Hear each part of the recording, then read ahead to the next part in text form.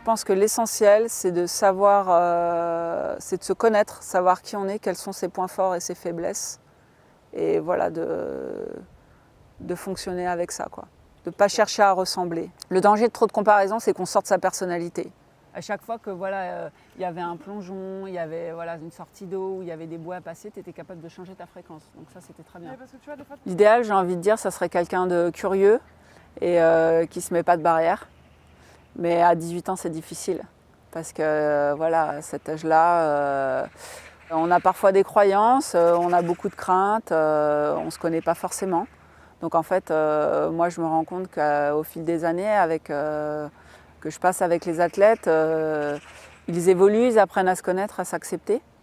Et une fois qu'on accepte ses, qualités et puis ses faiblesses, je pense que c'est là où on a vraiment une chance d'être, de, de devenir très performant.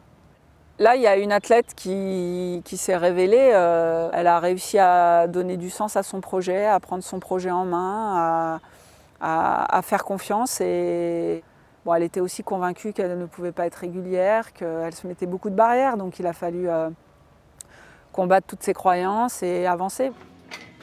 Placé, serre ici. Allez, on y va, on inspire, on est parti pour 8. Yo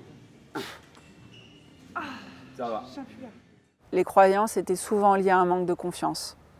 Donc on s'enfermait dans les croyances pour justifier un mauvais résultat, voilà, et ça avait un petit côté rassurant, quoi. Bah, c'est normal parce qu'en fait, euh, voilà, ça je sais pas faire, donc euh, voilà, c'est comme je sais pas faire, ça va forcément se passer comme ça.